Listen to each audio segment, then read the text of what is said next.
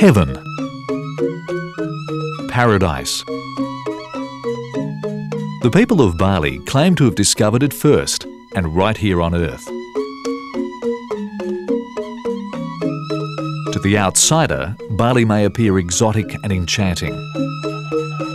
But this island oasis is really just a mirage. In reality, the beauty and splendour is a mask.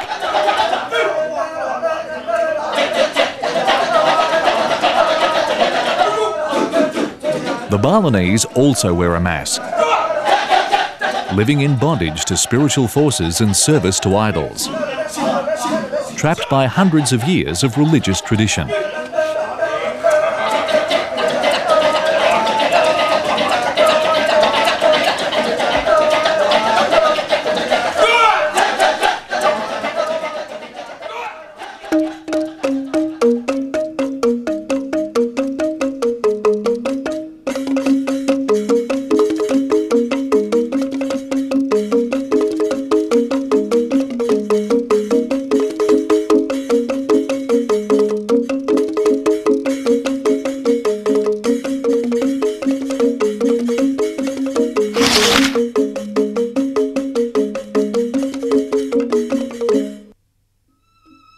Bali. The name itself conjures up images of long sandy beaches, dense tropical jungles, and volcanoes soaring up through the clouds. The majority of her people, the Balinese, still live in villages and farm in terraced rice paddies which ripple down the hillsides like giant steps. Here, the charm of the people working in the fields or selling their wares in the marketplaces is relatively unspoiled by the commercialism in the southern coastal resorts. Situated in the middle of the Indonesian archipelago, Bali is world renowned as a jewel of the Orient and tourist hotspot. Up to 1 million tourists visit Bali every year. Where once a Balinese village dotted the landscape, now stands a five star hotel Bali's cheap cost of living makes it easy for foreigners to enjoy the good life at a good price. Likewise, the Balinese have also come to welcome the money they bring. The tourist dollars have sparked a cultural renaissance by helping to provide the Balinese with much needed economic outlets for their artistic talents and religious activities. From the Balinese businessman to the vendor on the street, everyone, regardless of social standing, is brought up with a strong sense of culture, and many are skilled in traditional arts.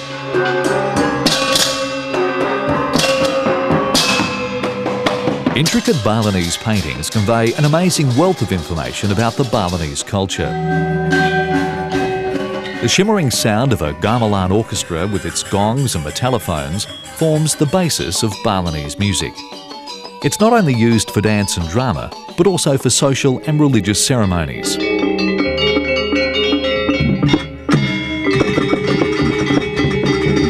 Most dramas, such as this Barong dance, depict ancient Hindu stories that tell of a battle between good and evil. The masks of their major characters are believed to have magical powers. To the Balinese, it's not just entertainment, but a petition to the gods for the people to receive a blessing. Almost all Balinese arts are an expressive part of their spiritual culture.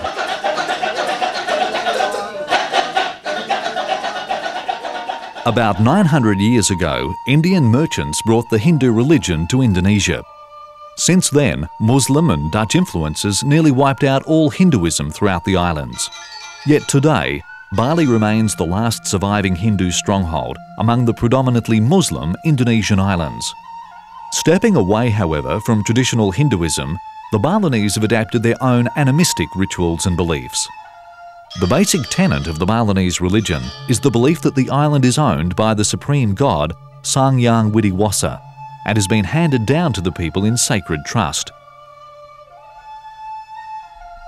The Balinese are concerned with pacifying dangerous forces which require constant and daily celebrations. Living in fear, they try to appease every god that is known and unknown. Idols, altars, and spirit houses are commonly found in front of temples, homes, businesses, and entry gates. Offerings of flowers, rice, banana leaves, and incense are placed before them daily to satisfy both good and evil spirits. The Balinese always try to stay on the good side of all forces and feel if the spirits are kept happy, they can relax and even be light-hearted. This need for communal acts of worship also binds their community's traditions and morals. The Balinese calendar is filled with hundreds of ceremonies throughout the year. There may be as many as 70,000 Hindu temples in Bali. Entire villages will go to the largest of these for their most important festivals. When we do ceremony, all these people coming inside for the uh, for the praying, for the praying, and then bring uh, many many offering for our God here for the Iswara, Iswara or, justice God, and then for take uh, holy water for the clean body and the clean mind, and then some rice we put here for the symbol prosperity like that. For the Balinese, the most important day of their entire existence is the day of cremation. Often, the whole community joins the festival in a carnival mood. The body is carried to the cremation grounds in a high, multi-tiered bamboo tower that is twisted and turned to ensure the spirits can't find their way back to the house. Expensive and elaborate creations carrying the corpse will quickly disappear in flames. The purpose is to provide a grand send-off for the soul of the relative so that it might reach the higher world and rejoin the Hindu cycle of reincarnation. When the cremation is complete, the family sifts through the ashes to collect the bones. The ashes are taken to a priest where they're purified and then scattered to the sea. In Hindu, the philosophy is the human being have to work hard, uh, have to do a lot of things to find God or to find the, the salvation. So we have to work hard to find the salvation by using ritual ceremonies. But there is no guarantee and there is no clear way what we needed to do to get the heavenly life. Foreign workers and local Christians endeavour to show the Balinese that there is a clear way to heaven. Some have given their entire lives sowing seeds of faithfulness among this needy people the peace that mankind seeks. And back in those days, all the way from Denpasar all the way to the eastern end of the island, there wasn't any resident Christian witness.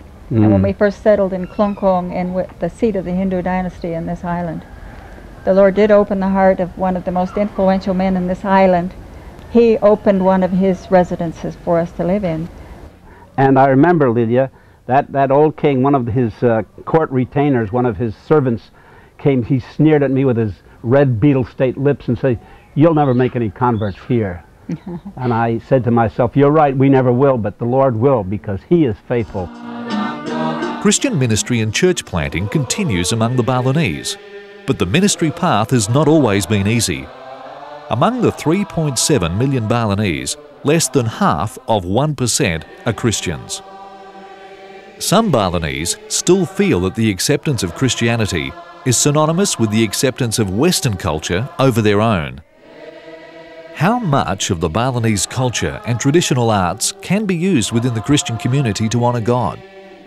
How can Bali truly become an island of people who enjoy their traditional arts while praising and worshipping the creator of their artistic creativity? I myself as a Christian can uh, to bring the gospel to the people here in Bali because they, uh, they see uh, the subject of the painting it is very strange and they will have a question why the subject of your painting like this and like this and from that case uh, I get a, a, good chance to explain the gospel. I need the Balinese art as instrument to bring the gospel here because if we are in our culture here in Bali, we are not look like a foreign people. Because a Balinese people, first they thinking that the Christian is a foreign religion. Balinese Christians are also partnering with foreign workers to demonstrate that becoming a Christian does not mean giving up all Balinese culture.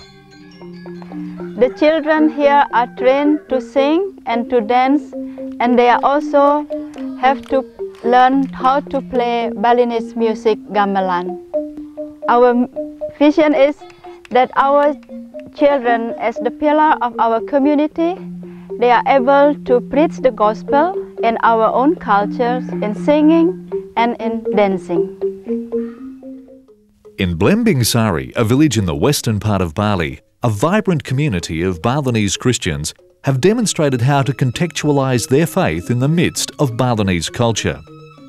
This Balinese Christian community needs to reproduce and flourish among other parts of Bali. Yet the majority of Balinese are part of a community governed by a local town council called the Banjar. The intense feeling of belonging, together with the all pervading influence of their religion, which nobody seriously questions, have led Balinese to regard their island and community as a world in itself.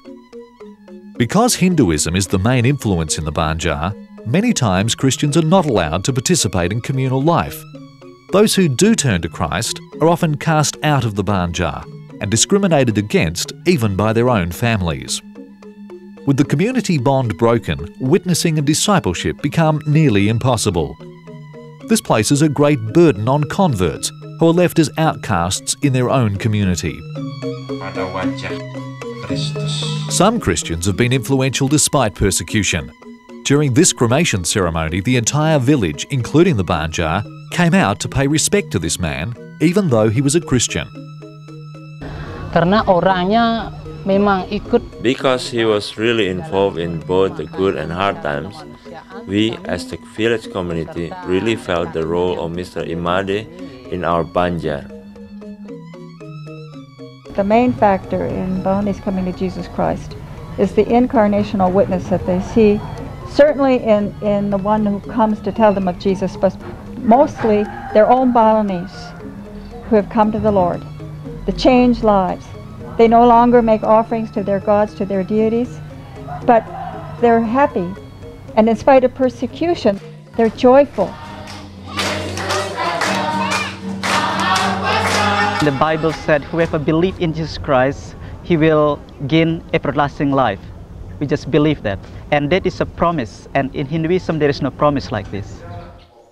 Short and long term workers are encouraged to come and share the Lord's eternal promise and teach biblical truth in culturally relevant ways.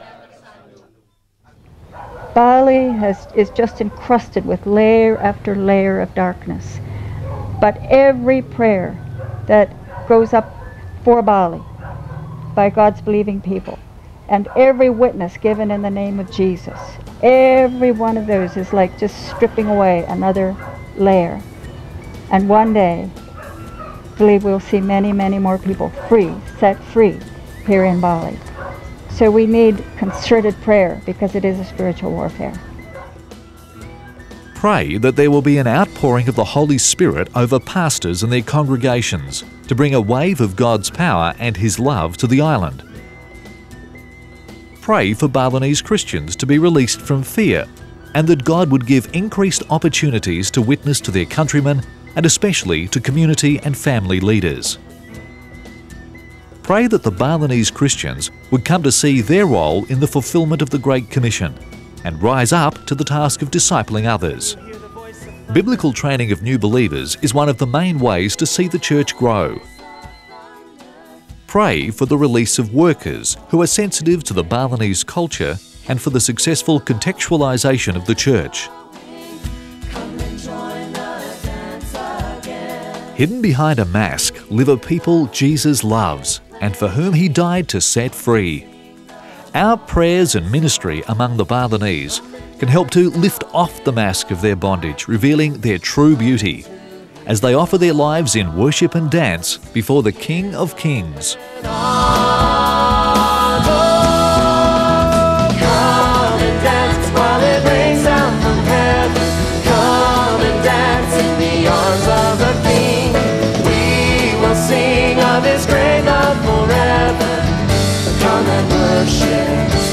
dancing at his feet.